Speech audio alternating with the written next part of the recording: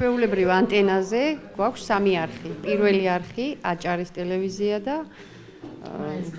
განათლე არა პირველი არხი განათლება რომ იყო. ძალიან სამწუხაროა ტელევიზია რა გაქვთ ადგილზე და როგორ შეიძლება რამე არ მოგეწოთ, მაგრამ როდესაც რაღაცას წაწყდებით და ჩათვლით რომ თქვენი უფლებები შეილახა ამ შინაარსის მომზადებით, ან ჟურნალისტმა შეცდომით ან გამიზნულად მოიტყუა, ამისთვის არის ორი ძლიერი მექანიზმი, რომელსაც მინდა რომ თქვენც დაუმეგობრდეთ და თვითრეგულირების მექანიზმი გამოიყენოთ, რაც შეიძლება აქტიურად. იმისთვის რომ მედიაც უფრო უკეთესი გახდეს და თქვენ საჭიროებებზე უფრო მეტად იფიქროს, ვიდრე დღეს ახერხებს. ну დღეს კონკურენციის თუ სხვადასხვა მიზეზების გამო ძალიან ბევრად და ხშირად ირღვევა აუდიტორიის უფლებები, ბავშვთა უფლებები, პირადი ცხოვრების ხელშეუხებლობა, სიძულვილის ენას ხედავთ ეთერში ძალიან აქტიურად. მაგრამ თუ კი აუდიტორია იქნება უფრო აქტიური და იტყვის რომ ეს არ მომწონს აქ დაირღვა ეს ჩემი აზრით და მოდი იმსჯელეთ თქვენ თვითრეგულირების საბჭოში აი ესეთი ნაბიჯებით იცვლება პრაქტიკა მზა ფორმები არსებობს მაგალითად media council g არის ესეთი ვებგვერდი რომელზეც გამზადებულია პირდაპირ ყველაფერი უბრალოდ ერთი დაკლიკებით შეგიძლიათ შესაბამისი ფანჯარა ჩამოშალოთ აირჩიოთ და თქვათ რომ აი აქ ჩემი აზრით ეს დაირღვა და მინდა რომ თვითრეგულირების მექანიზმის ფარგლებში საბჭომ იმსჯელოს ამაზე.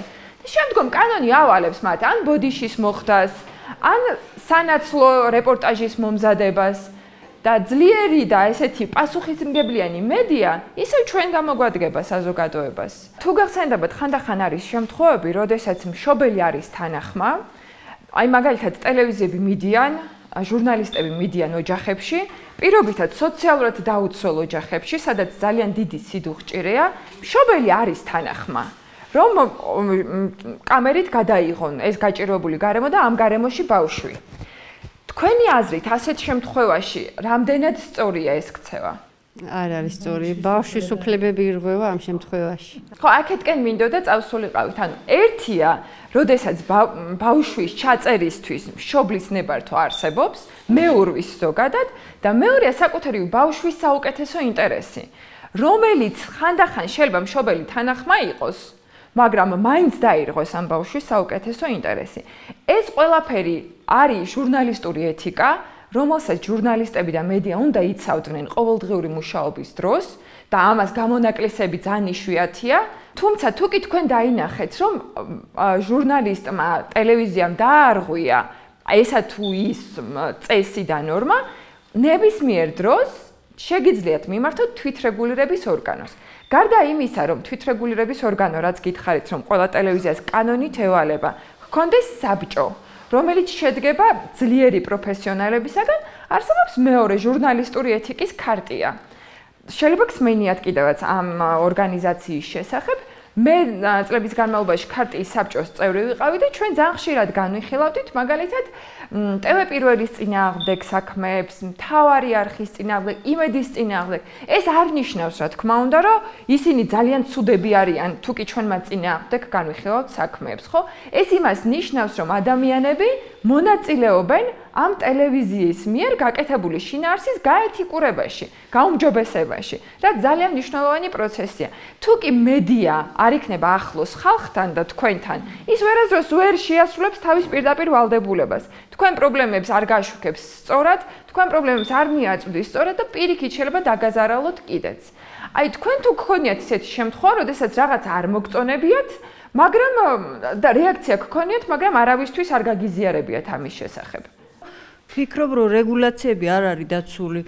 სულ მეშინია რამე ისეთი არ აჩვენონ ამ ტელევიზორში, რომ მე თვითონ შემწყვეს ჩემ შვილთან პედაგოგი ვარ, მშობელი ვარ არასრულწლოვანის და სურვილი ჩემი დიდი იქნება ის, რომ აი მეტი ყურადღება მიაქციონ იმას, რომ ტელევიზიაში დაცული იყოს ჩვენი უფლებები, მშობლების და მცირეწლოვანი შვილების, იმიტომ რომ სოციალურ ქსელებზე აღარა მაქვს ლაპარაკი. ხშირად ირღვევა ბავშვის უფლებები, რომ ის რაც არ უნდა ნახოს ბავშვმა, ნახულობენ ტელევიზიაში და მე ამის წინააღმდეგი ვარ სასტიკი და მაგ მხრივ კანონი არსებობს ჩვენ ქვეყანაში, რომელიც დღის ეთერში არეგულირებს რა უნდა გავიდეს ღამის 12-მდე მაგალითად. თუმცა მეორე მხრივ ინტერნეტმა ისეთ შესაძლებლობები შექმნა, რომ გადაახვევნების მიერ მომენტში. ანუ კანონი რაც არ უნდა სრულყოფილი იყოს, ტექნოლოგიური განვითარება ყოველთვის იძლევა საშუალებას, რომ გვერდი აუარო ამ კანონით დადგენილ ნორმებს. ანუ მაგალითად 12 საათის შემდგომ რისი ჩვენებაც შეიძლება, იმაზე შეიძლება გადაახვიოს ბავშვმა ნებისმიერ დროს. ამიტომ აქ კიდე ისეთი პროცესი შემოდის, რომელშიც ჩვენ განათლებაზე უნდა ვიმუშაოთ და რაღაც პროაქტიულად ჩვენ შვილებთან გქონდეს ისეთი კომუნიკაცია, რომ მისი ბუნებრივი ინტერესი სხვა ფორმებით დავაკმაყოფილოთ და არა სატელევიზიო ეთერში უკონტროლო შინაარსებით.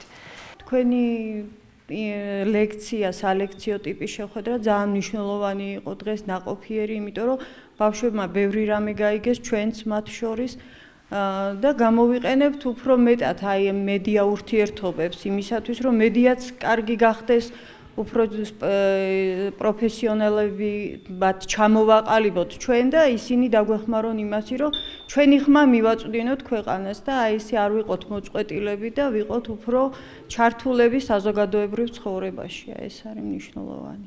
საუკეთესო იქნებოდა თუ აი ჩვენ შეგვეძლებოდა ის, რომ აი ჩვენი პრობლემები გავაშუქოთ, გადავცეთ, მოუყვეთ ჩვენი ცხოვრების შესახებ, თუ როგორ ცხოვრობ ჩვენი ყოველდღიური საქმიანობის შესახებ მოუყვეთ და სასურველი იქნება რომ ამ ყველაფრის შესაძლებლობა გქონდეს